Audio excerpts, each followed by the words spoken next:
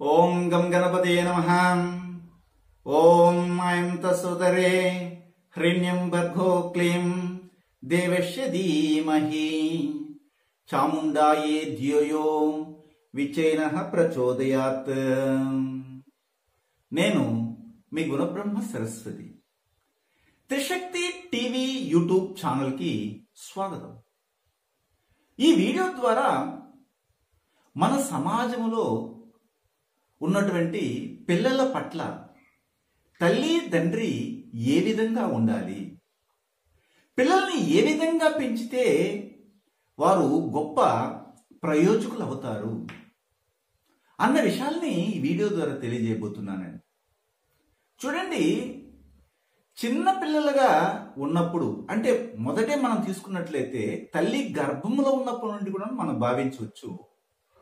ఏ విధంగా అంటే తల్లి తన యొక్క బిడ్డని తన గర్భంలో మోస్తున్నప్పుడు ఆ శిశువు పట్ల అనేకమైనటువంటి ఆశలు కోరికలు ఉంటాయి. నా బిడ్డని ఇంత ఉన్నతంగా చూసుకోవాలి.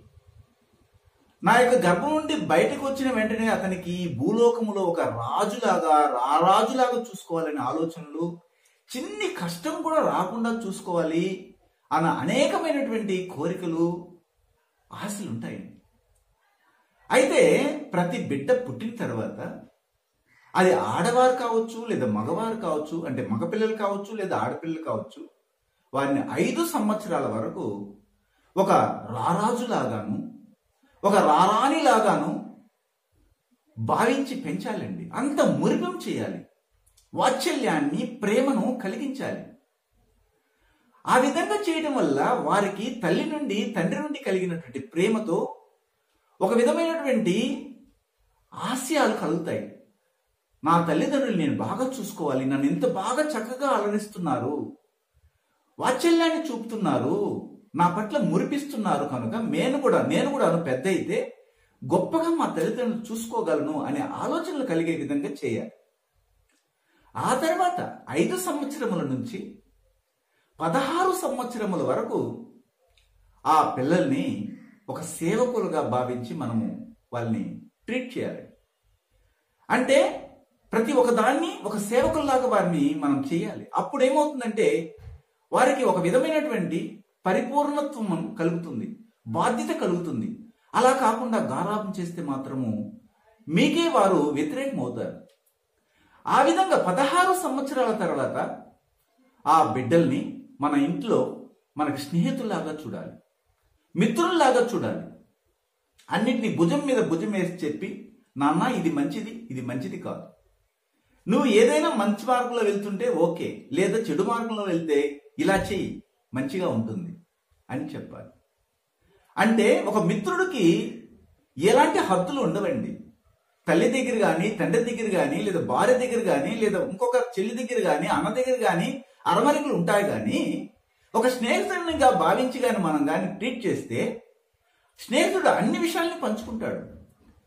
నిద్రలేసినప్పుడు నుండి రాత్రిలో ఎంతవరకు ఏం జరుగుతుందో ఎవరెవరితో కలుస్తున్నాడు ఏం మాట్లాడుతున్నాడు ఈ విషయాలన్నీ కూడాను ఒక మిత్రునిలాగా పంచుకునే విధంగా మనం భావించాలి అలా కాకుండా తల్లిదండ్రులు చాలా వరకు పిల్లలకు పనులు చెప్పకుండా అన్ని పనులు వీళ్ళే చేస్తుంటారు.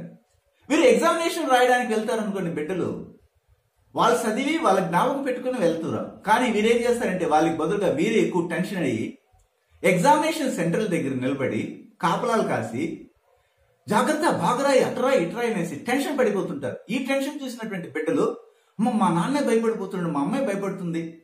నేనేం రాయగలను ఎగ్జామ్ అనే ఫీలింగ్లో ఉంటారు. వాళ్ళని స్వతంత్రం వచ్చి వదలాలి. నువ్వు ఏమైనా చేయగలవు. ఒక ఎంఆర్ఓ దగ్గరికి వెళ్ళాలంటే వాళ్ళని పంపించాలి. ఒక ప్రెసిడెంట్ దగ్గరికి వెళ్ళాలన్నా ఒక సర్పంచ్ దగ్గరికి వాళ్ళని పంపించాలి. అప్పుడు కాలేజీ జీవితాన్ని పొందేటప్పుడు వాళ్ళు నేరుగా డైరెక్టర్తో మాట్లాడగలరు వారి యొక్క ప్రిన్సిపాల్తో మాట్లాడగలరు వాళ్ళ కరస్పాండ్తో మాట్లాడగలరు. ఒక లీడర్షిప్ క్వాలిటీస్ వాళ్ళ కలుగుతాయండి. అలా కాకుండా మీరు కానీ చేసినట్లయితే జీవితకాలం అంతా కూడా వాళ్ళని మీరు పోషించాలి.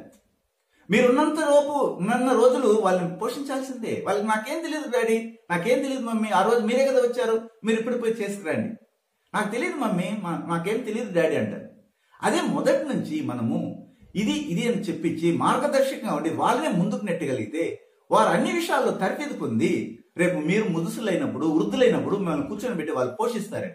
లేదంటే వాళ్ళు పెద్దవాళ్ళై పెళ్ళి అయిపోయినా కానీ ప్రతి ఒక్కదానికి మీ మీద ఆధార- ఆధారపడతారు. నేను ప్రేమను చూపించవద్దని చెప్పటం లేదు. మీ యొక్క అనురాగాన్ని వాత్సల్యాన్ని చూపించవద్దని చెప్పటం లేదు. అది గారాభంగా మారినప్పుడు అతి గారాభంగా మారినప్పుడు వారిని మీరే పోషించాలి జీవితకాలం. ఇది గుర్తుపెట్టుకోండి ఎందుకంటే పిల్లవాళ్ళని ఏ విధంగా పెంచాలి?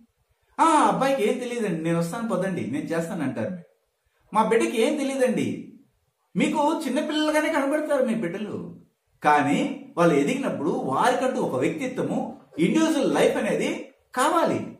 ఆ ఇండివిజువల్ లైఫ్ని మనమే అందించాలి. కొద్ది స్వతంత్రాన్ని వదిలి చూడాలి. అప్పుడు వాళ్ళు ఒకవేళ ఇప్పుడు మనం చూస్తుంటాము ఒక చిన్న పిల్లోడు దోగాడుతూ వెళ్ళి గోడకి పట్టుకున్నాడు. గోడను బట్టి అలాగే నడుస్తున్నాడు. తండ్రి చూస్తూ చూస్తూ నేను వదిలే నడవద్దంటే అతను నడక అక్కడికి ఆగిపోతుంది. మనం వదిలేయాలి. అప్పుడు ఏమవుతుంది అతను గోడ పట్టుకొని మెల్లగా లాస్ట్కి వెళ్ళేందుకు చూడాలి. ఒకవేళ పడిపోయేటప్పుడు కావాలంటే మీరు దగ్గరికి వెళ్ళి పట్టుకోండి. కాదంటలేదు. మొదటి నుంచి నువ్వు నడవద్దు నడిస్తే నీకు కాళ్ళు నొప్పులు వస్తాయి నడిస్తే పడిపోతావంటే ఎప్పటికండి వాళ్ళు నడిచేది? ఎప్పటికండి నేర్చుకునేది? ఇవన్నీ గమనించాలి. అప్పుడు మాత్రమే ఈ గారాభం అనే దాన్ని తొలగించుకోగలిగితే మీ బిడ్డలు ఉన్నత స్థితికి వస్తారు. అలాగే బిడ్డలను పెంచాలి.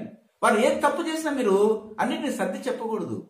దాంట్లో న్యాయాన్యాయాలు ఏమిటి? ఇది చేయకూడదు నాన్న ఇది చెయ్యి ఇది మంచిది. ఇలా చేస్తే ఇలాంటి అనర్థాలు వస్తాయి ఇలా చేస్తే ఇలాంటి ఇబ్బందులు వస్తాయని సత్య చెప్పాలి.